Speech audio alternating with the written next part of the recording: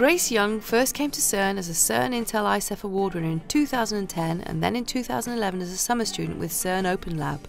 This is the public private partnership through which CERN collaborates with ICT companies and research institutes. Following which, Grace went on to study oceans and is trying to discover new ways to preserve the marine environment. How does she go from small particles to huge oceans? I'm an engineer in both cases, and I learned some very technical skills at CERN that I still use now. I learned specifically how to write C++ code for a larger data analysis framework.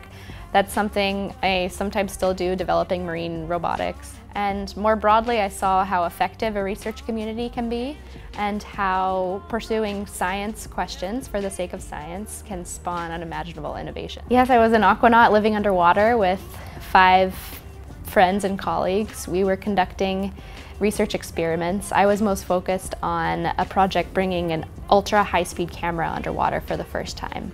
And we used that to film the creatures around the habitat on the reef in slow motion as they were feeding or spawning or whatnot. The habitat we were living in was just slightly bigger than a yellow school bus, so it was pretty cozy on the inside.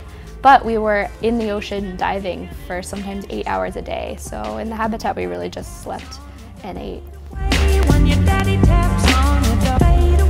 So Grace, you are a very early supporter of the CERN Alumni Network Mm -hmm. And I just wondered if you could explain to us what value or added value joining the network has for you, please.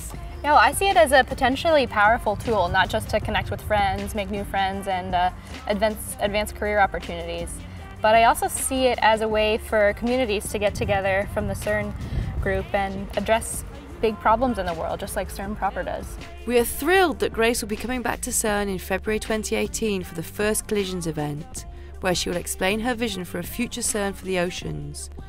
Don't delay, sign up today.